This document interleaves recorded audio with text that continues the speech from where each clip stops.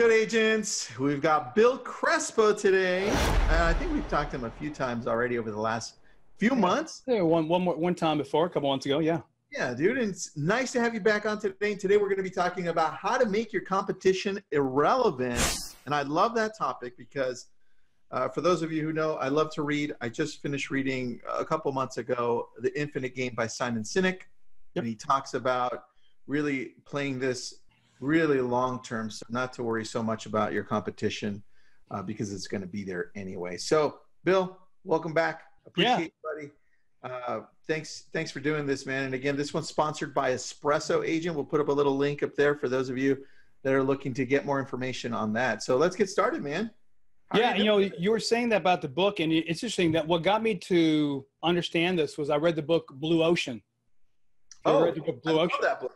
Yeah, that's what years ago I read that, and that's what got me thinking about how do you make your competition irrelevant. And I think now more than ever, um, and we probably won't mention names of other companies, but it starts with a Z coming in and starting to take over our business. And, and, and if we don't understand how to make our competition irrelevant, they will take it over. These companies will come in and take it because we've got to communicate to the to the consumer that we have something. And I think uh, and I'll just say this from an editorial comment about this. I think what these companies don't understand is that, that really the consumer does want to work one on one with someone. I, I think this, this technology is great, but they still want to have a one to one contact. I mean, you, there's, a, there's a, I was consulting a medical company, a hospital here in Norfolk, Virginia, that was saying how um, doctors are operating, you know, remotely. I mean, they got robots and doing this thing, but really would you want to be operated by someone remotely? I mean, come on, that's a little scary. I mean, in the world we live in, uh, no. But if that's the only type of, yes.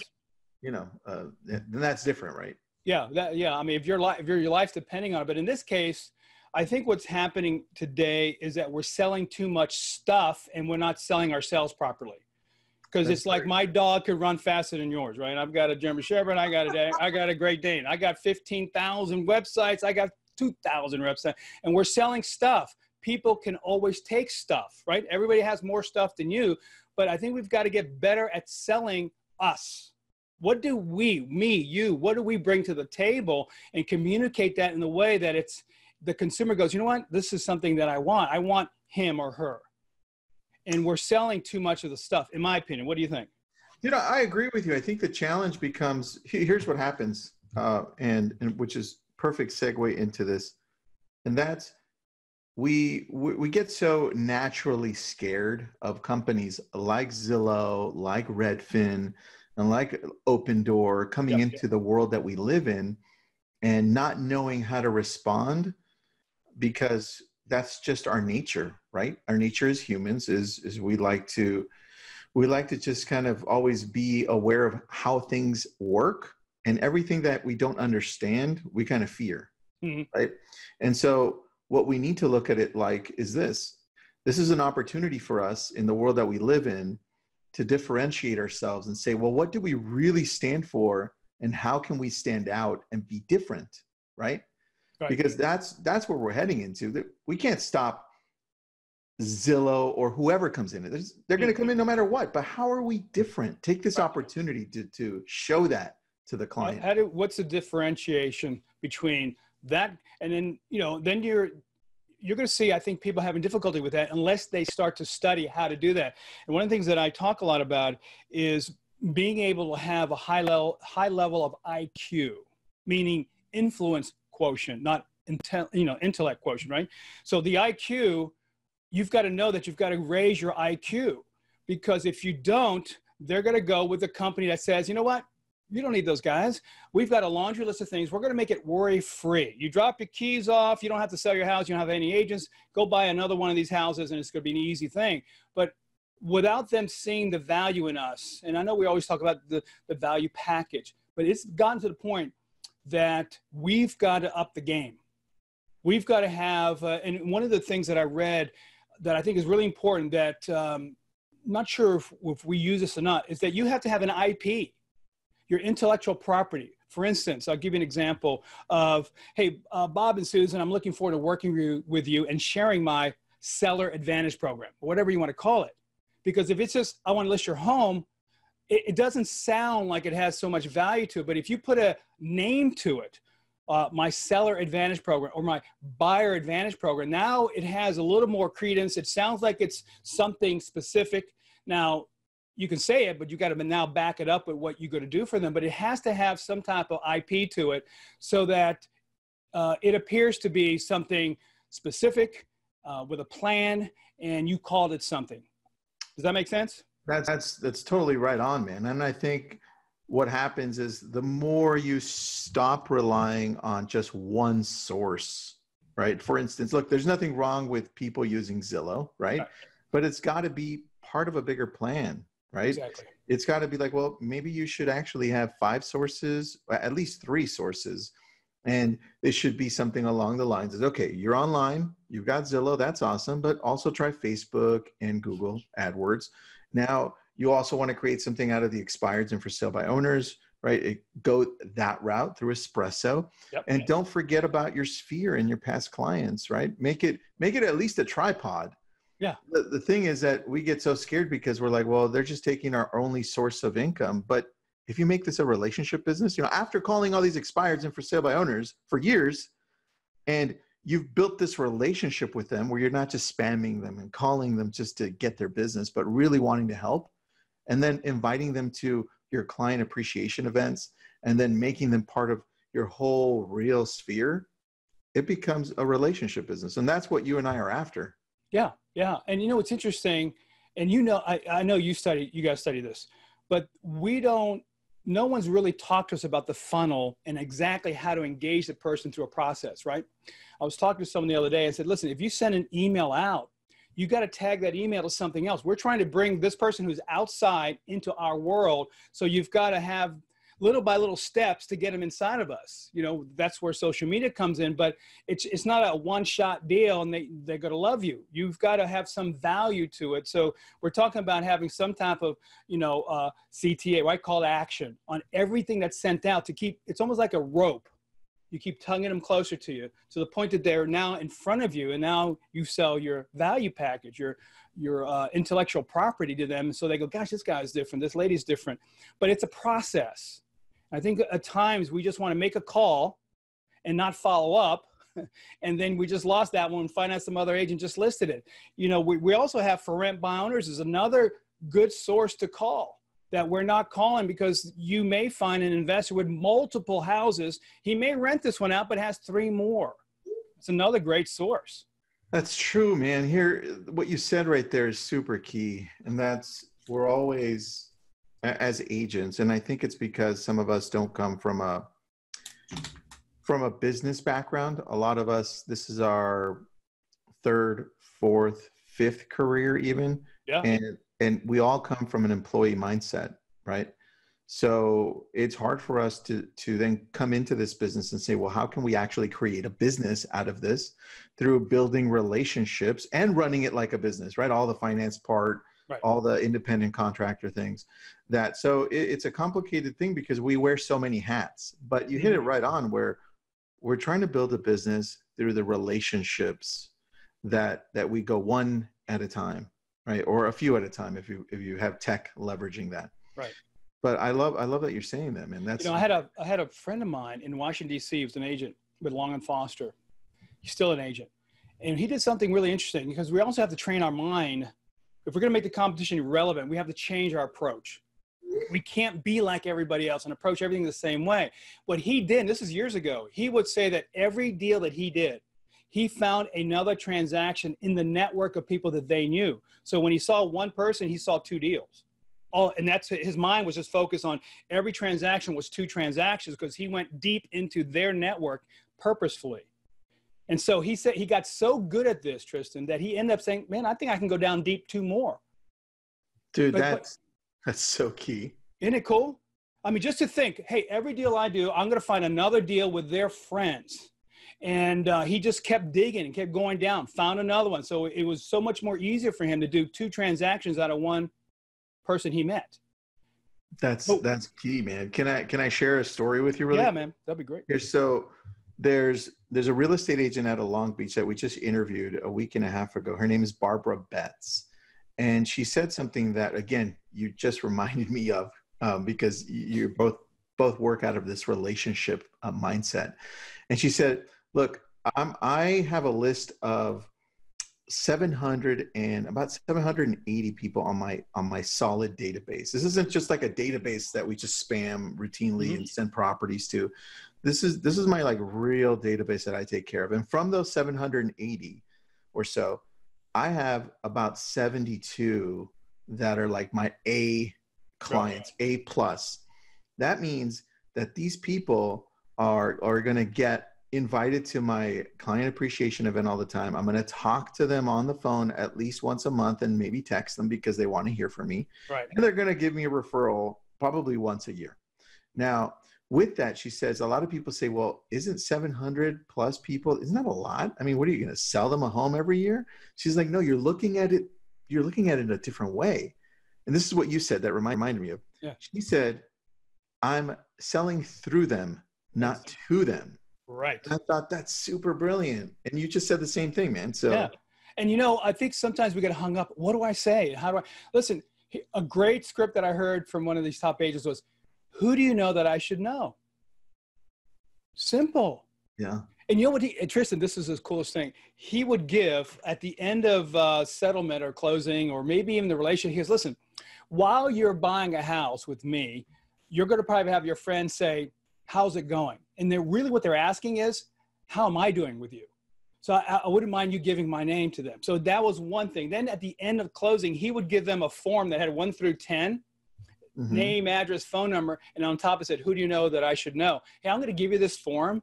And listen, I'll pick it up next week. Just give me a list of your friends and actually pick it up. Listen, if you get three or four out of a list of 10 that you never had before, but this was a mechanism that he did purposefully. At the end of every deal he closed or went to escrow with, he gave the form to them, said, listen, here's my who do you know that I should know form. I'm sure you got a lot of friends that are just like you, and I love working with you. Do you mind just filling it out? Go to your wedding list or whatever you have and fill it out. So he'll get back three, five, ten names back, and that's how he went deep into their friends.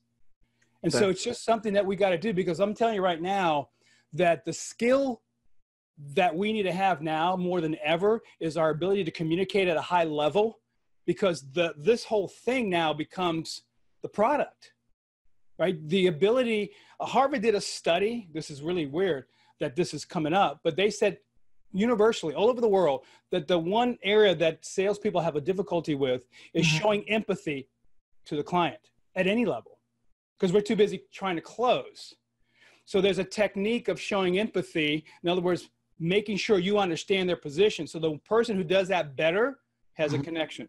Dude, you just reminded me of a book I picked up uh, two weeks ago. I started listening, and it's uh, it's called uh, "You're Not Listening." Oh, that sounds like I got to get that. Right. It just came out um, a, uh, maybe a couple months ago. Yeah. And it's uh, it says what you're missing and why it matters. This is exactly what you're telling me, right? Yeah.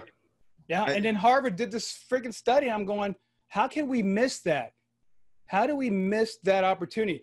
Uh, a guy worked for me that was selling Rolls Royce jet engines to, um, I guess, the airlines, right? So they they shop for engines, and mm-hmm. and it, it, was relationship. He said, I said I, I was a top producer. He said, and I go, well, how did you do it?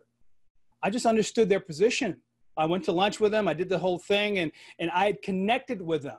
I mean, it's a Rolls Royce jet engine, which is interesting, is that they rent those engines. Those engines on those planes are not bought by the company. They're built by Rolls Royce or some other company, and they have hours on, and then they, they're paying for those engines, which is really interesting. But he said I, it was a relationship. So that's a high ticket item. And it, with Harvard saying that we're not empathetic enough, what do we have to change? Well, I think here's what I think, man, and this is from from reading a, a crap ton of books and and um, from just being exposed to so many different CEOs and executives because of lab coat agents. Sure. What I'm noticing is that as our culture shifted into the information age, where we get bombarded from every type of information, our, our televisions are talking to us, our phones are always connected to us, right? We have Alexa listening on. Yeah, yeah, yeah. There the she is. She yeah. just went and, on yeah, and uh, everything is listening and bombarding us with information. What's happening is, is it's causing us to have a, a shorter attention span because of it.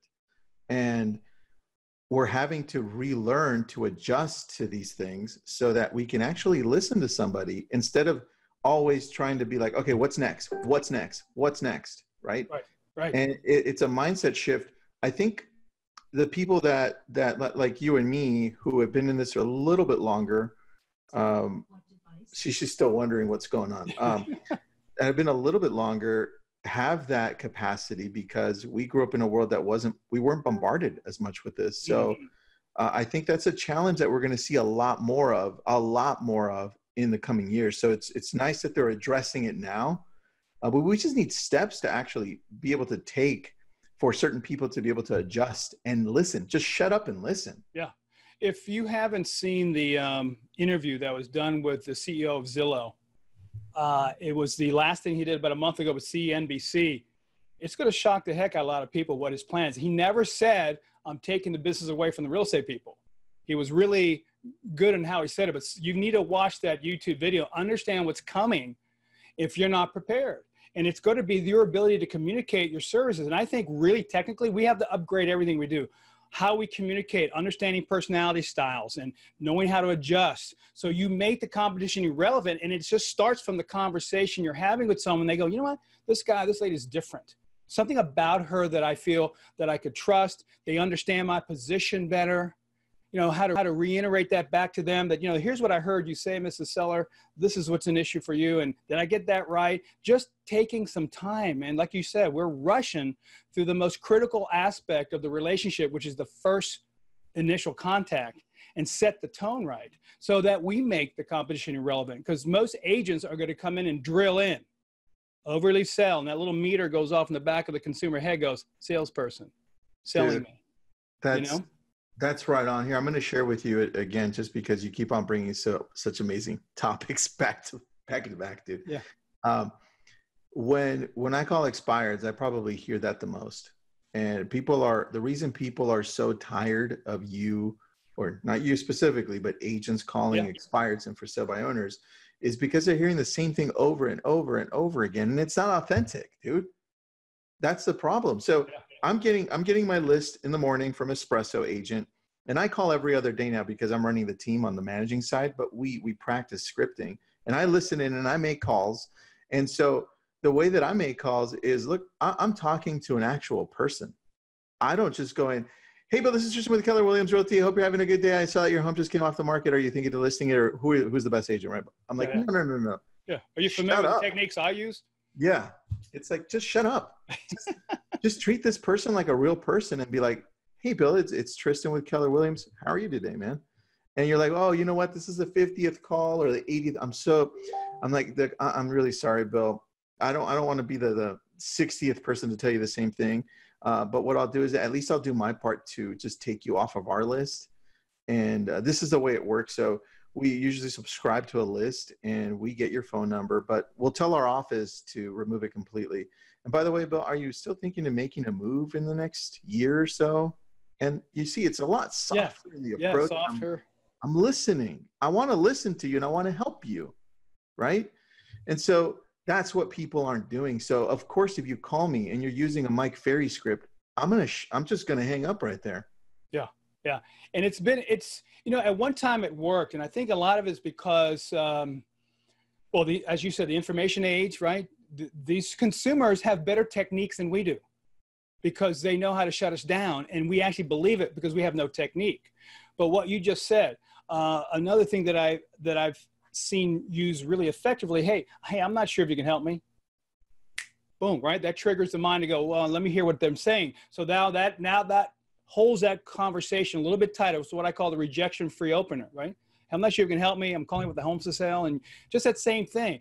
It, it, when I used to role play with these guys that were so good, they're almost like actors. Remember that in the old days when they go, gosh, you must, you must be just tired of these real estate people. And that's all a technique that that person's using. But you know, it's hard to be real every time, but this is our job we've got this is our job our job is to communicate in a way that that person drops that invisible guard right that that fence that's between them and us and it goes down so they feel comfortable and then you ask the questions you get the right information and i really believe that we got to get face to face the other thing harvard said is right? The highest rate of conversion is going to happen face to face. So either we close for the appointment or close just to see the house. Just get in front of these people. Yeah. We're sitting in our offices all day long. We're not getting out. Go knock on the door, go see the person face to face because they've got this impression of a real estate agent and it's not a pretty sight. No, you know? it's definitely not.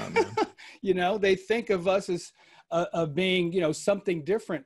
So I think to to to make that client or that potential person uh, in your in your marketplace, the competition irrelevant, we're going to have to really uh, up our game a lot because the that these companies are coming in to up their game.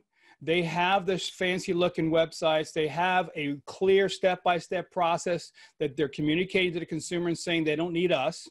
Mm-hmm. We've got to look at that and say, what is your step by step process and how you communicate it in a way that makes it worry free for the consumer. And I, the other thing I wrote down here is how can we deliver what they used to call outer rim customer service? Mm-hmm. That was a, a, something I studied a long time ago, or let's just say unexpected service, like LL Bean, Disney. Uh, how can we deliver? And I, you know, it's different for everybody to think, but how can we deliver totally unexpected service to the consumer? Because we have an advantage over Zillow. We're one on one they're gonna you're gonna call someone at a call center or or somebody who's assigned to it, and you don't know if you're gonna get the same person possibly. I'm not 100% sure, but I'm sure it's gonna be like that. But how can we deliver this unexpected service?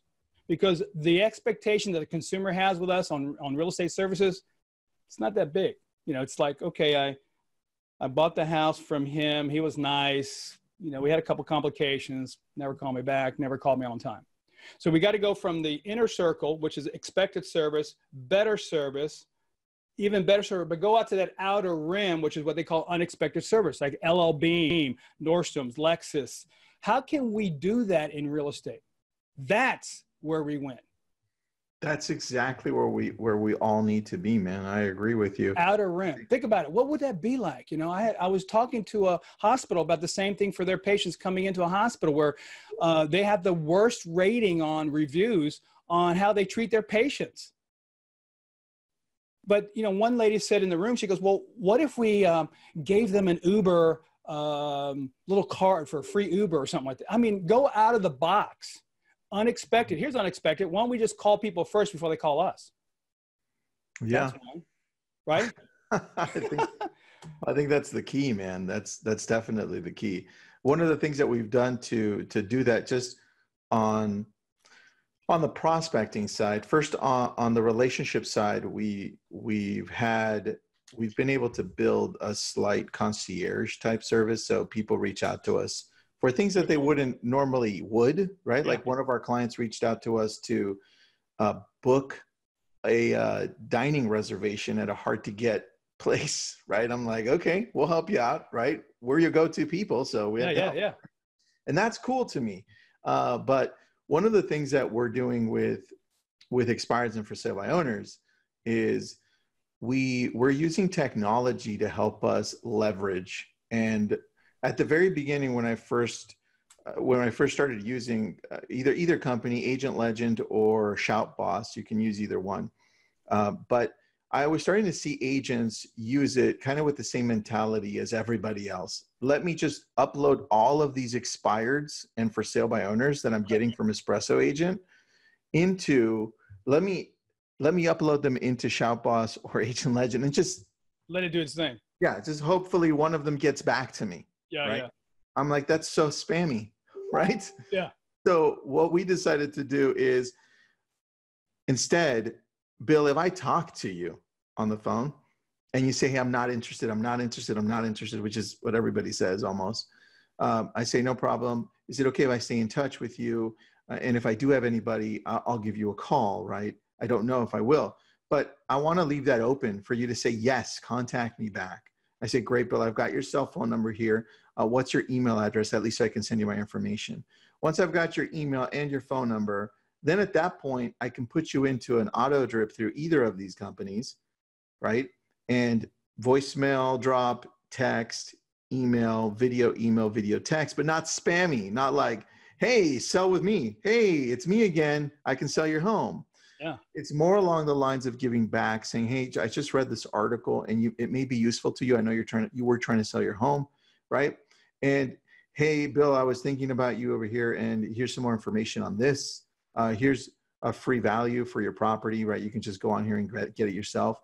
Things that that can help you out, right? Yeah. And I've automated that process so that it doesn't sound spammy. Number one, and number two, I leverage it so that I can make certain calls and not have to worry about the follow up. Right, right. Let me. Um, I want to add. Can I add something to that? Yeah, man. So, so you haven't expired, and expired's either going to be upset, right, because it didn't work out, and they're burnt out a little bit. So they're going to probably do something down the road. So it's our. We've got to measure whether or not this person has high motivation or not. So here's a something that I've seen work. So the person goes, you know what, listen, we're not sure right now. And so you're always on their side. You're not trying to oversell, like you said. And you go, you know, let me ask you this question. I understand that you're waiting and you're kind of burnt out. If I get a phone call for someone interested in your neighborhood, would it be okay to call you?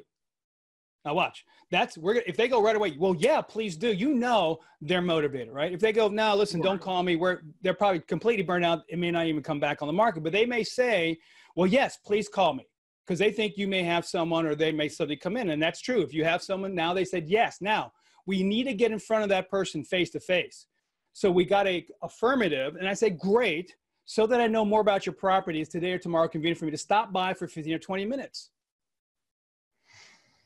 Okay, so we're not selling anything. It's logical for them to understand that if you have someone, now they may say, Do you have a buyer right now? Here's where the agents screw up they go, well, I have to see your house for, and that's how long has that been around? So I would, I would just say no if you don't have one. No, I don't have one right now, but we always have different buyers coming in, which is true. And then go back to the close. It's today or tomorrow convenient for me to stop by. Get in front of these people's faces as quickly as possible because once you've established that eye to eye contact, they know that you're a sincere person because you're backing up with your voice and now with your visuals. And then it's easier for you to get in there for an appointment at that time or later on, you're in the top of the list. Very so that's true. one way of, of working it out. But I think we've got to be a little bit more understanding of the communication skills that we need to have. I think it's going to be much more skill based as this technology increases so that we make these other people in, in our marketplace look like they're just amateurs. And we've got to go to that pro level of delivery of our services. And hey, if, if they still say no to you and they don't want you to come by, you could always drive by, knock on the door, said I was on my way to my appointment. I you know, was in the air and say hi. You got to get in front of them. Yeah. And if look, and if they don't want to talk to you, that's okay. You're not going to grab everybody. Yeah, but don't look like you're going to move in when you knock on the. You know how the agents do? They'll knock on the door and go, "Well," and they're hanging there for a long time. It's kind of awkward. No, you act like you're going somewhere. Don't stay there like you're ready to camp out. Yeah, exactly. You know, I just happen to have my suitcase with you. I want to move in. You know, you can't do that. So you've got to look like you're moving forward. They want to work with someone that's busy. They also want to work with someone who, um, you know, has a schedule that looks like they've got stuff going on. They don't want to work with someone that doesn't look like they do this full time. And I think a lot of times we uh, we're not setting up the right tone in the beginning of the relationship. That's how we're going to make this thing work. And if you watch that video that they did, the, the Zillow CEO who came back into the scene did, they sold only 2,000 homes in this new program. They do want to buy more. All they got to do is flip the switch, man. They're rocking and rolling. Yeah.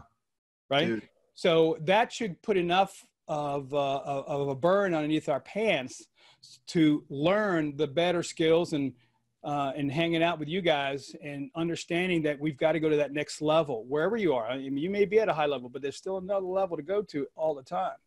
You know. So, Bill, how do you how do you recommend agents go to that next level? What is it that that agents need to do to get there? Uh, you know what? I strongly believe that we're so involved with selling that, which is you got to know, we don't really understand us. Okay, we don't, we really don't understand how human behavior works and how to change our behaviors and, and, and really know that we're going to have to change. This is a mental, mental, physical, spiritual thing that we've got to get going on. And it's, um, you know, listen, man, I, I'm going to be 63 in June, but I'm going to tell you one thing. I'm going to be the healthiest 63 year old that's out there. I, I believe that. And, um, but this is a, the game has changed. you have to observe your behavior. I have to observe mine and go, I have two choices. I can go down that other path that takes me to not where I want to go, or I stop and redirect the pattern. It was interesting. I was on a board of directors of a recovery program. Uh, my friend ran it. I think sometimes it's, and this is, sounds sick, but we have addictive patterns that we have to break. Someone who's on drugs or alcohol, it's really easy, right? They look terrible, they're not showing up, but we're so good looking that you can't tell we have addictive patterns. And we do have them, and we have to break them. If you want to get to the next level, you have to observe what pattern that you're running to create a new pattern. Like I was just talking to someone just a little while ago that says, you know, I'm always got to get paperwork done first. They're three contacts away from getting to the contact goal they need, and they stop. Well, you're somehow at that point you're going, man, I think I'm going to sell myself on going down this path. You know, when the pain of doing it is greater than the pain of not doing it, we're, we're screwed. That's true, man. That's very true. I was uh, I was recently talking to I, I don't even know who, but we were talking about all the different cognitive biases, right? And since you've been on that uh, part of the board for these recovery yeah. uh, companies, uh, what happens is you're bound to talk about some cognitive bias. And the ones, the two that come to mind that real estate agents have to change or have to be aware of is one confirmation bias. And it's super easy to see. Confirmation bias is, is when you look at a, let's say a, a political candidate, we're just going to pick Trump just because he's there. Yeah. Uh, you can be pro Trump or against him. And the pro Trump people, no matter what he does, right? He does it awesome. And the ones that are against him, no matter what he does, he's terrible, right? And that's confirmation bias. You're looking for things that are just going to confirm what you already believe. Right. And that's the problem. We look at our business and life that way, right? Yeah. Yeah. Yeah. That is so cool. You, you just, uh, you're right on to what I was thinking because there's two people inside of us, right? There's the person who wants to go down the old pattern and the new pattern person, right? You're fighting two people inside of each other the, the old pattern, the, the old guy, the new guy. The new guy, the old guy is such a good salesperson, it's selling us inside our heads that we should just not do this thing because we're good salespeople, not knowing and not observing the fact that I'm being sold by my uh, complacency, let's just say or I'm being sold because I, I, I, don't want to do this thing. So I'm, I'm justifying not doing it. Kind of like what you just said. There's two people inside of us fighting. One of them's going to win. If you want to get to that next level, you've got to observe that I'm at that point. It's called a choice point, right? And I'm going to go mm-hmm. down that mm-hmm. new direction. That new direction has to continue to happen to create another newer pathway that's deeper than the one that you've created that's in that addictive pattern. And um, it's interesting um, I interviewed uh, um, Jason Redman. If you ever get a chance to interview him, you got to get a hold of this guy. He's a Ooh. Navy SEAL. Got shot in the face. Oh wait, I think I know. got his new book? Did you get yeah. his new book?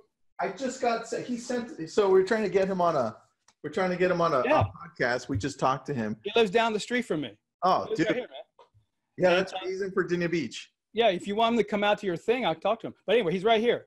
He's right 15 minutes from my house. He came into my office. I interviewed him about a year ago and he talks about it. So you talk about getting to that upper level, that pro, that elite level. Um, he talks about when he was ambushed. He talks about these ambushes of life and ambushes. But think about it, man. These elite, they're not pros. They're above pros. Okay, and we're we don't take this business at that level. Sometimes we don't behave it. Sometimes we don't even project it. We've got to go to pro, and then some of us will get to elite. And Jason talks about his experience as a uh, team leader for the SEAL Team Six, and what he went through. Great book, and um, forget, uh, I should say I'll send you the interview. Um, Dude, please, I'll post it up. Yeah, it's a great interview that we did with Espresso. Actually, we brought him in through Espresso, and we we interviewed him, and he came into the office here, and um, what he went through, and what the mind can actually how that could change he was getting shot at his team was they were being ambushed and he said listen eh, i sit there or i die. I mean we're we don't want to knock on a FSBO's door. They're not shooting live ammo at us man. This guy's getting shot at and he figures he's got to split second do something different. That's at a different level of thinking. I think i think at that point we just have to put our our life into perspective and say look the business that we're running isn't life and death like these these people in the military or in third world countries that are being threatened every day. Yeah. right? We, we're not fighting for our food or water on a daily basis. We're just trying to make a phone call and connect with people at a deep level. How hard can that be when you put it in perspective? Did you ever meet Steve Futch by any chance? no man. You need to introduce me to these people. Oh, this uh, uh, Ren knows Steve. Uh, uh, in the old days. So Steve, he was a lieutenant colonel. He was in his late fifties when he got into real estate. Long story short, his uh, and, and again, I don't want to mess up the story, but anyway, he had to move. Uh, his wife was a colonel, also moved to Shreveport, Louisiana. His wife gambled all their money away. They got divorced. He had to get into real estate and get his money back. Anyway, he went knocking on doors all day long we have to kind of coach him not to do that as much and get on the phone. But he just, that's all he did Monday through Friday. He went from 12 deals to 100 some deals in one year. But he said to me, I, I've never going, I went to dinner with him in Austin a couple years ago. He goes, you know what? Listen, man, they're not shooting live bullets at you. I here's a, he showed me his. He got stabbed in Vietnam in the back. He got shot over here. He just goes to the door. And one thing that I was impressed with, he knew when to pull back. He wasn't slam hard closing. He would always throw some type of bomb in the room, a little bit of a insight. Hey, you know, I know you're not ready, but when you are ready, just let me just let you know that I'm out here. The rest of the real estate agents in their office. I'm just demonstrating to you what I'm going to be doing. And this guy was in his late 50s. You know, came Wow. with a suit, went to the door. He did that all day long. The same place every Monday, same market. Tuesday, a different market, same time, same and he did it for years. Went from 12 to 100 some deals, but they're not shooting live bullets at you, man. He says, "I'm going to knock on the door." I was in Vietnam. What do we have to be afraid of, guys? I, I you know, listen. When you're like, I had six kids. You know, we all have bills. Every house was important to me, and I remember driving around, going, "There's someone behind the door with a wife beater T-shirt and a Budweiser and a shotgun, and I'm going to knock on the door." You know how you get all this stuff going in your head. And then finally, I, I knock on the door. The door opens up, and I'm looking for a six foot five guy, and he's not. the the person's not there. And I look down, some little old lady going, and I'm like drooling my scripts because I didn't know. I'm like, and the lady goes, "Come on in, son." And it was a FSBO. She was really nice. And from that day on, I said, that changed my life on FSBOs and expires. The second thing is when the FSBO said to me, "You know what? The only reason why I'm FSBO because I'm looking for a good agent." Think about that one. How many times are we not going to the door or making a call? Someone may be looking for a good agent. And so it's just amazing to me how our heads go. Unless we, you went back to that same question, we need to control our thinking. If we don't control the way we think, we're never going to get to that upper level of, of production. and i think i think the challenge is that first we need to become aware of this Yes, exactly. and you've heard of the drunk monkey or things like it it's just it comes down to negativity bias another cognitive bias yeah, exactly. negativity bias is just for those listening in it's just you, you always think the negative thing of anything you're doing Yeah. and that's it's human to do that you just have to be aware of it so you're like hey hey hold on this isn't as bad as i think it is You know, you're, you're so right. It, our brain is like a dog off a leash. yeah that's right You know, No? it's going to stop at a fire hydrant. It's going to chase another dog. If you don't control it, you're just not going to be able to get to the production you want. And and once, I think we ought to be teaching that to people right off the bat, guys. You know, because they there's so much, so many directions we can go in real estate. Just stay focused. Um, there are a bunch of people that have been in business for a long time. It's not going to, they're not going to change. You have an opportunity, and this year, I- I don't know what you think, Tristan. This is going to be a big year a big year in real estate. it is man it's still the market is so good right now Yeah. And It's going to be awesome. So I, I, I believe that uh, that you have an opportunity if we start to change. But I also think, and you just showed everybody all these books you're reading, and and I know you do a lot of reading. I do a lot of reading uh, because I want to learn. I, I, I'm constantly wanting to learn, and if we're in a learning mode, we're going to get better. Um, because I've got to get better. You've got to get better. We all have to get better. But people that don't read on a regular basis are really not going to get better.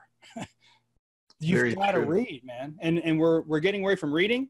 And I'm not a big fan of audiobooks because the audiobooks is not going to do it, man, because we're losing that ability to get that information in another part of our brain. We're just hearing it and it goes right through here and sometimes goes out and maybe you can pull over and write something down, but nothing like getting the book and reading right off the bat and marking it up. And you, you're, if you're like me, man, I'm always, um, I got more stuff in here and marking them up. And so that's what we got to do. And that's how you make your competition irrelevant by you first deciding to make that decision that I'm going to change. And what you were saying, being cognitive of these, be observant of some of these things that I do. And, uh, you know, I learned the hard way, uh, and I've been married for 20 years. I know when I say something to my wife, that it will it will go to a level 15 on a scale of 1 to 10 and i just figured that out. If i don't say that it doesn't happen. And i hey that's cognitive. I go maybe i don't and guess what? She's nicer back to me.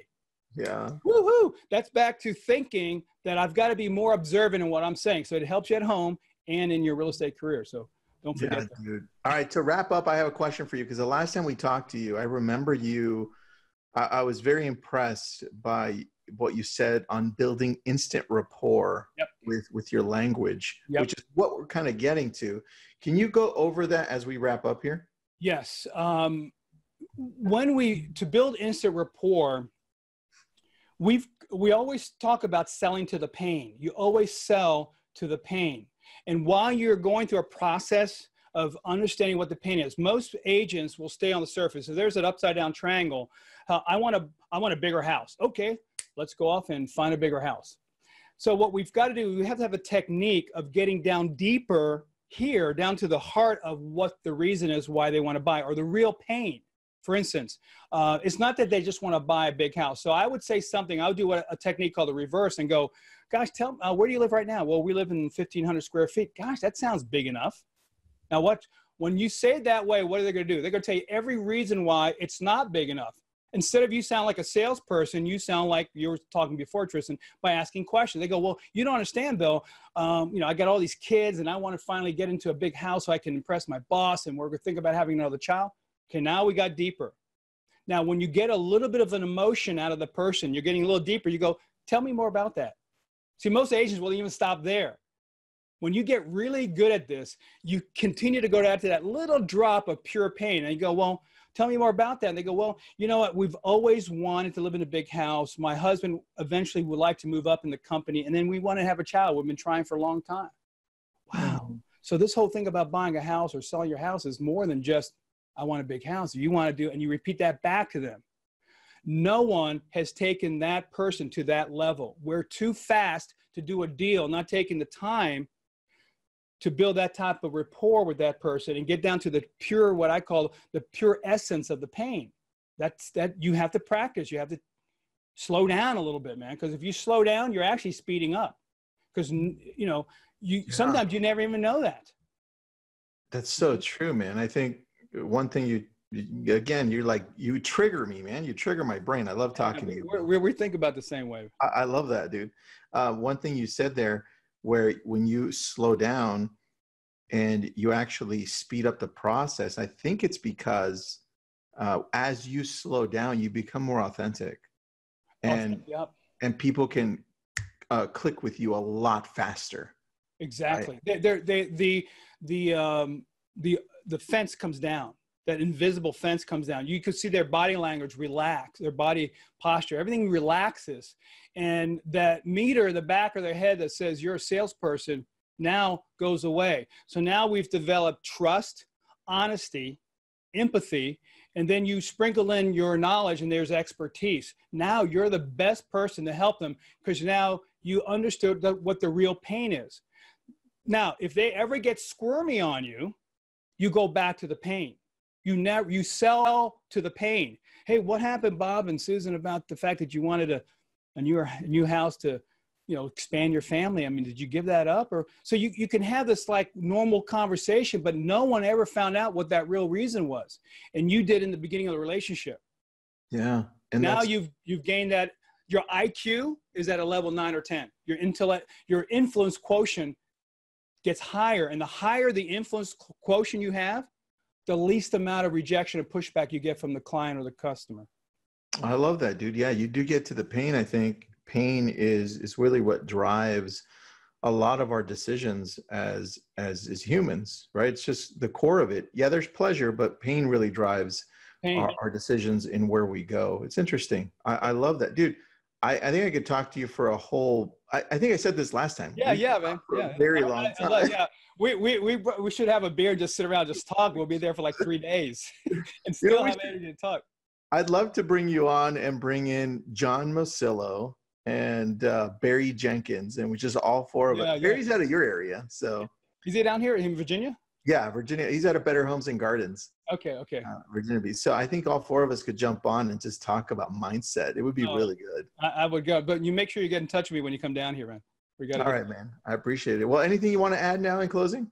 No, listen, guys. Uh, just, just, re- just remember where we are in the business right now. I mean, things are changing, and you have an opportunity this year. I think if you, you don't want 2021 to come in and go, gosh, I had that opportunity. I missed it. This is not the year. This is the year for you to get to that next level and, you know, continue to attack the uh, listings and the espresso information you're getting. And, you know, now that we have, um, you know, for rent by owners is another little source that you have access to. It's going to open up a whole bunch of doors for you. So, um, you know, it's going to be a great year. I'm, I'm looking forward to it. And I thanks for letting me come on again, uh, Tristan. Dude, thanks for being on. Again, this one is sponsored by Espresso Agent, and it's espressoagent.com forward slash lab coat agents. They've got a special deal for you there. And Bill, thanks for being on, man. I appreciate you. Yeah, yeah. Email me, man. We'll get I will. Together. Thank you. Yeah. Take care. Bye bye. Bye bye.